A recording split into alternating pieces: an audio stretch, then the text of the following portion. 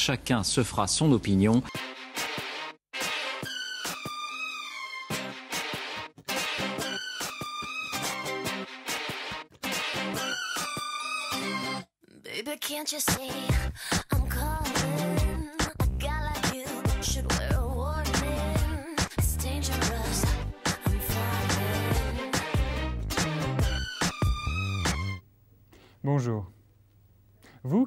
Presque quotidiennement la télévision, vous pensez sûrement que c'est très difficile de faire du journalisme avec des images. Eh bien oui, c'est très difficile. Et non seulement c'est très difficile, mais c'est également très cher et très fatigant.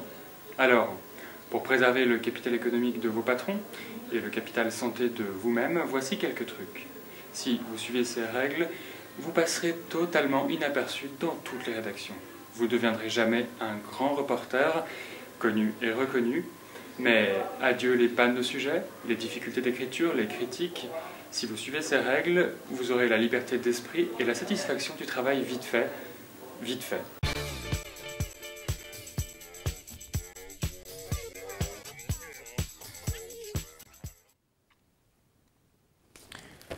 Il y a des journalistes qui adorent les conférences de presse. Ils voudraient savoir à quelle heure Nicolas Sarkozy part faire son jogging chaque matin. Ils lisent l'AFP. Dans l'AFP, chaque matin, vous avez des agendas.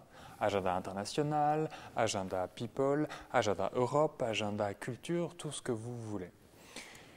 Ne négligez pas les journées mondiales. Il y en a 222. Il y a la journée mondiale de la procrastination, la journée mondiale de la lutte contre l'homophobie, mais ne la confondez pas avec la journée mondiale de l'homophilie. C'est une mine de sujets. Alors franchement, utilisez-les, elles ont été inventées pour vous. Pour le reste, pour savoir ce qui doit être dit dans les journaux télévisés, ce qui est important, ce que la presse doit reprendre, une équipe de scientifiques a réussi à mettre l'actualité en équation. Pour savoir si un fait X peut être diffusé à la télévision, il faut savoir ce qui intéresse les gens. Pour cela, les scientifiques ont mis au point la fonction f de x, un calcul très complexe prenant en compte de multiples paramètres. Attention, c'est compliqué. L'actu doit être chaude. Très chaude. Les gens doivent se sentir concernés par elle. L'actu doit être proche d'eux, avec des images qui choquent. Et il faut que tous les médias en parlent. Application maintenant. Comparons le traitement médiatique de deux catastrophes naturelles, un séisme au Chili et une tempête en France. Alors, à votre avis, lequel va crever l'écran?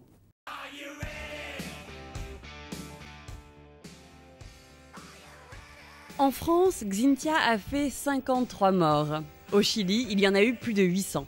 500 000 sinistrés par la tempête en France, ils sont 2 millions au Chili. Le coût total des dégâts chez nous est de 1,5 milliard d'euros. Là-bas, le tremblement de terre a coûté au moins 20 milliards d'euros. And the winner is... Oh, Xintia. Et oui, Xintia, 137 reportages en deux mois sur TF1. Le Chili a lui eu droit à 10 reportages. TF1 en a parlé pendant 4 jours. Quel dommage 12 000 km séparent le Chili d'une couverture médiatique en France. Si seulement quelques touristes français avaient péri dans l'événement, le Chili aurait peut-être pu faire match nul. Pour éviter d'avoir à chercher constamment de nouveaux sujets, quand une grosse actus se présente, sautez dessus, ne la lâchez plus. Et sucez-la jusqu'à la dernière goutte d'actualité. Bouffez-la et faites-nous en bouffer.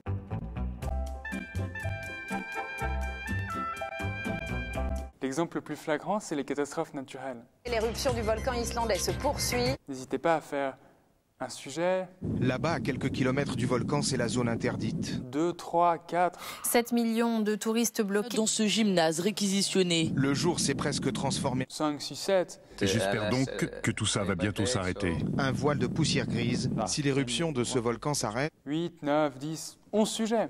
L'Allemagne a refermé. Nous avons téléphoné directement. Pour ceux qui sont déjà partis, c'est plus délicat. Et si vous pensez que les gens s'en lassent, oui, vous avez raison, les gens s'enlacent, mais ça, c'est pas votre problème. Bon, en cas de panne de sujet, nos soussailles. On vient de vous montrer des méthodes éprouvées qui ont fait leurs preuves, alors mettez-les en pratique. Elles peuvent vous sauver la vie.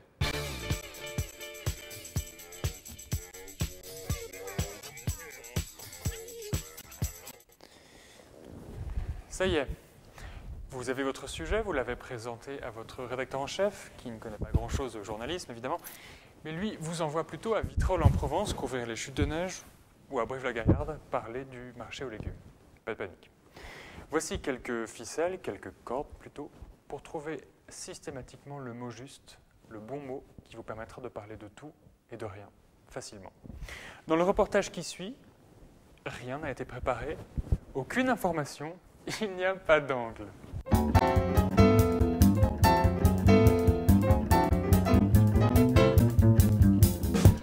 Regardez en quelques instants ce que nous allons faire. Magnifique. Voilà. Jacques, 65 ans, est un retraité pas comme les autres. Depuis deux ans, avec sa femme Catherine, cet ancien cafetier passe six jours sur sept à faire reluire les souliers d'équidame pour arrondir ses fins de mois. Son secret, c'est l'huile de coude et le secret de sa petite brosse. Il y a une cire naturelle. Et ça fait briller la chaussure. La mousse est imbibée d'une cire. Et vous avez à peu près deux ans d'application dans la brosse. Comme ça, ça va aller Un peu plus loin, c'est aussi un couple qui vend les seuls lapins halal du marché, tués selon le rite musulman. Un lapin couleur locale, élevé dans un village tout proche de l'île, à Péranchy. Le succès de son étal, Jean le doigt, au bouche à oreille. Alors il y a eu des, des personnes qui sont venues sur la ferme et puis après ça leur fait un petit peu de la publicité. Les gens, ils, tout ce qui est musulman, ils se parlent entre eux. Et puis que c'est comme ça qu'ils nous, qu'ils nous connaissent en fin de compte. Le marché de Oisem est un marché de fidèles. Sa foule bigarrée vient y acheter ses légumes et sa viande. Mais je viens chercher mes légumes, ma viande au marché couvert et j'en suis très satisfaite. Ici, bonne humeur de rigueur et des prix défiant toute concurrence. En temps de crise, voilà qui fait du bien au porte-monnaie. Voilà, voilà, voilà, voilà, qu'il y a des affaires à faire. Ici, les produits les plus ordinaires côtoient le plus inattendu. C'est bien simple, à Oisem, on trouve de tout. Même Les tulipes perroquets, une variété euh, un peu rare, plus rare que d'autres. hein, Elles sont très jolies. Je les ai fait mélanger d'ailleurs pour euh, qu'il y ait un peu plus de couleurs quand même, mais elles sont très très très jolies. Et voilà, on trouve plein de choses sur le marché de. On trouve plein de choses, sauf du persil. Nuages volcaniques oblige, les avions transportant persil, coriandre et menthe sont restés cloués au sol de l'autre côté de la Méditerranée. Ce matin-là, pour les amoureux du persil, c'est chez Sofiane qu'il fallait aller. Moi, je l'achète euh, au marché international. euh, c'est de l'italien. Donc, il vient en camion, donc il n'y a, pas de- y a pas de rupture euh, pour l'italien. Merci. Il est 13h sur le marché d'Oisem. Les commerçants remballent doucement leurs marchandises. Les badauds rentrent déjeuner chez eux. Dans une heure, ici, il n'y aura plus rien. Plus de traces de ce marché. Les voitures auront repris leurs droits. Et il faudra attendre jeudi prochain pour à nouveau faire des affaires. En tout cas, ça donne vraiment envie d'y aller. Autre chose, on reste au bord de la mer, mais une autre, la Manche cette fois.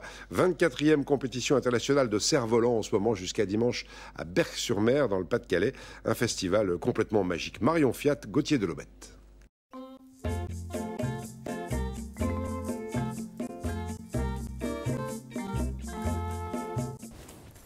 Bonjour, asseyez-vous. Aujourd'hui, le fait divers. Le fait divers. Tout bon fait divers comporte au moins un témoin. 5 heures, ma femme m'a réveillé, enfin nous a réveillés, et euh, la rue était euh, noire de pompiers, de secours. Ainsi qu'une victime. Qu'est-ce qu'ils ont pris? Des appareils à raclette. Et enfin, toujours un uniforme.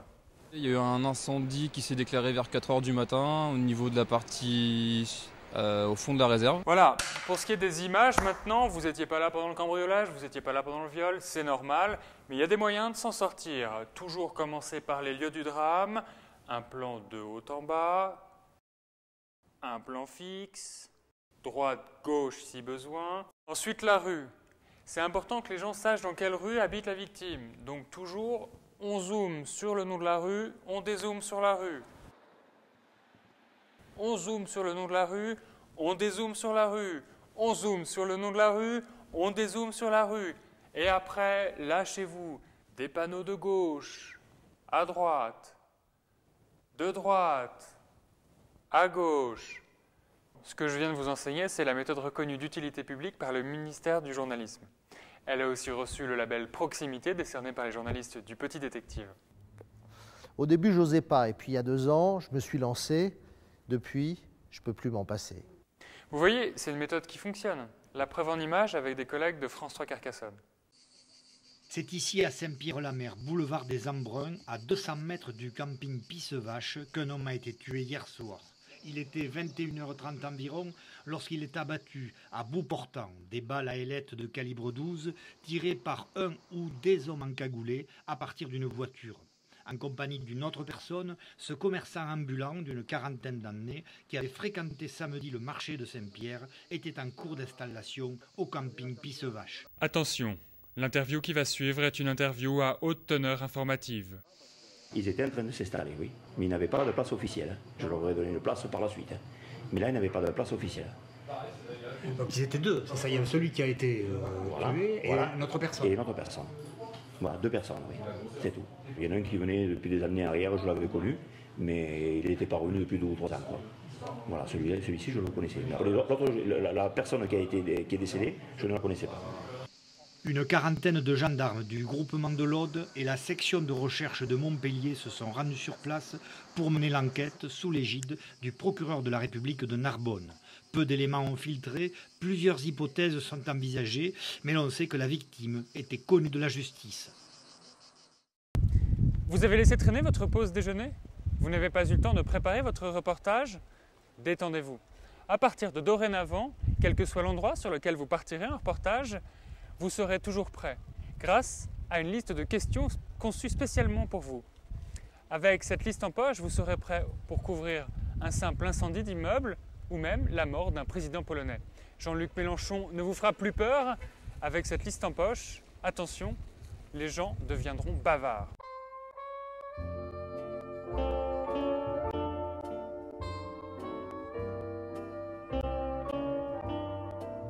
Quel est votre sentiment aujourd'hui? Qu'est-ce que ça vous évoque Et qu'est-ce que vous avez envie de dire aujourd'hui Et vous êtes confiante dans l'avenir Comment vous vous sentez aujourd'hui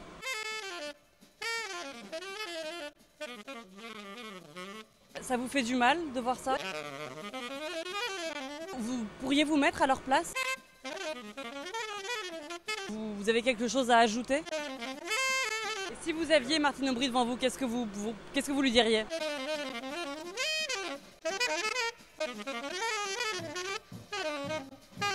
Vous pensez qu'aujourd'hui le système ne fonctionne plus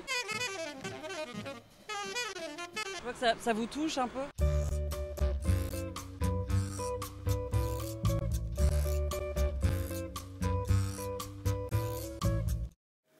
Un petit truc à avoir en tête. Si votre interlocuteur se met subitement à pleurer, taisez-vous. Laissez l'émotion prendre toute la place. C'est très vendeur l'émotion. Et n'hésitez pas à zoomer sur son visage pour capter toute la tristesse. Ah ben vous voyez, c'était pas si compliqué.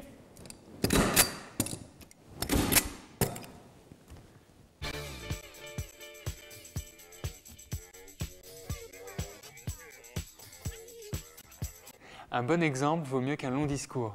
C'est ce que Tintin aimait à rappeler quand il était encore chef du service étranger au petit XXe.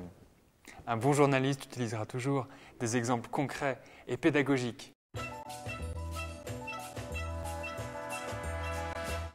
La Belgique, c'est l'unité territoriale de base. La Belgique, c'est pratique, c'est 30 000 km tout rond. Désormais, vous ne présenterez plus un pays sans annoncer le nombre de Belgiques que l'on peut y mettre. Si vous voulez parler de la Finlande, par exemple, où l'on trouve des lacs aussi grands que la Belgique, Vous direz que ça vaut 11 plats pays. la Belgique vous servira parfois à mesurer des choses plus inattendues comme La radioactivité autour de Tchernobyl, par exemple. avec quelle unité mesure-t-on la déforestation? Avec le terrain de football. C'est au Brésil que cette unité a été inventée. Dans ce pays, on détruisait la forêt amazonienne pour construire des terrains de foot. L'expression est restée. Donc, ne dites plus que 13 millions d'hectares de forêt partent en fumée chaque année. Dites plutôt que la forêt mondiale perd l'équivalent d'un terrain de football toutes les 15 secondes. Le terrain de football permet également de mesurer les porte-avions, les tours Eiffel, les plateformes pétrolières, les pollutions maritimes, les espaces verts, des Airbus et même... Des baguettes de pain. Si vous devez convertir des terrains de football en Brésil... Sachez que l'on pourrait construire un peu moins de 1 million de terrains de foot dans ce pays grand comme 285 fois la Belgique. Qui elle-même pourrait contenir 25 000 porte-avions. Ou bien, au choix, pas plus de 5 840 Airbus A380.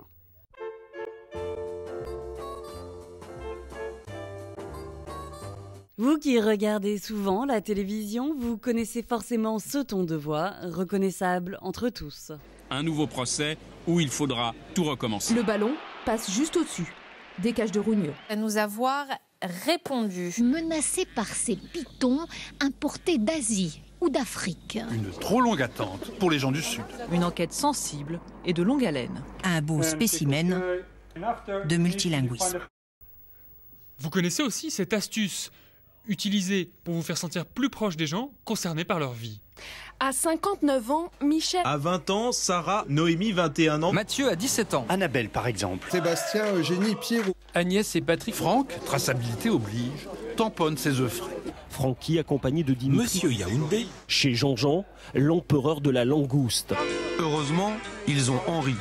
Et enfin, vous connaissez tous ces formules passées dans plus de bouches que le membre de Rocco Siffredi. Ici, tout le monde se connaît. La polémique se répand comme une traînée de poudre. Pour cette dame, il n'y a pas de doute. C'est un secret de polichinelle. Écran de fumée ou nouveau dérapage. L'addition est lourde. Signe des temps. Sous une pluie battante. Qui en dit long. Le moindre défaut peut mener à la catastrophe. Jusque-là, tout va bien. Ils espèrent que cette fois-ci sera la bonne. Bref, tous les indicateurs semblent aller dans le même sens. Grâce aux nouvelles technologies. Hasard du calendrier. Normand Dogé est l'objet de toutes les attentions.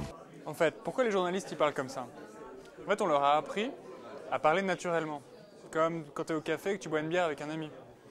Et euh, bah, nous, on a fait une enquête. Et en fait, on s'est aperçu que les gens, bah, ils parlent vraiment comme ça dans la vraie vie.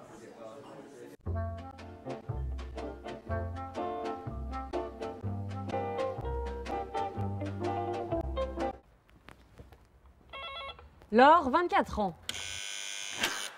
Bonjour Mathilde. Bonjour Laure et bienvenue dans cet appartement. Cet appartement est le tien et j'espère que tu y passeras un très agréable moment. Voilà ton thé. Tout de suite, j'aimerais que nous parlions de Kevin, un dossier compromettant. Rappelle-toi, Kevin, ce jeune homme rencontré à un bal des pompiers, puis retrouvé nu quelques heures plus tard dans mon lit. La soirée avait été alcoolisée, trop peut-être. Du sperme avait été retrouvé sur mon oreiller. Eh bien, figure-toi que depuis ce fameux bal, le jeune homme s'est volatilisé dans la nature, disparu. Élément déterminant, son numéro de téléphone était un faux. Un dossier dont je ne manquerai pas de te donner les suites. En tout cas, ce cas nous montre une fois de plus que les hommes sont vraiment tous des salauds. Justement, en parlant de salauds, Patrick D, 28 ans, celui qui aimait m'appeler son petit bichon d'amour, a été pris la main dans le sac. C'était hier dans le 18e arrondissement de Paris. Ses amis, sa famille, tous sont tombés de haut. Jamais je ne l'aurais cru capable de tringler ma meilleure amie. Mais le pire dans cette histoire, c'est que Patrick D est un multirécidiviste. En décembre dernier, il avait été interpellé pour une main baladeuse. Il avait alors bénéficié d'une liberté conditionnelle. Une histoire sordide dont je te dirai plus à la fin du thé. Un mot de mode maintenant. Depuis jeudi, le pantalon carotte a fait son grand retour dans ma garde-robe. Si tu ne dois avoir qu'un seul article cette saison, c'est celui-là qu'il te faut. C'est en tout cas ce qu'affirme John Galliano. Reste avec moi dans un instant la suite de ce rendez-vous avec une seconde tasse de thé et en prime du sucre.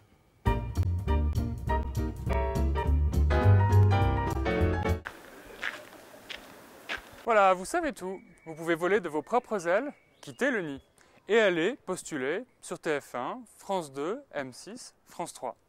Ah mais auparavant, un dernier truc pour réussir vos sujets et les terminer avec grandeur et dignité. Trois fins possibles, trois chutes. La première chute, la chute, fermeture de porte. Derrière cette porte, c'est une nouvelle vie qui commence pour Vanessa. Maintenant la chute, plan ras du sol. Il est 17h et pour Mike et John, la journée est loin d'être terminée. Et enfin, la chute couchée de soleil. La journée s'achève, mais les cerfs-volants, eux, continuent de tournoyer autour du soleil. Voilà, à vous de jouer maintenant. On aura sans doute l'occasion d'en reparler.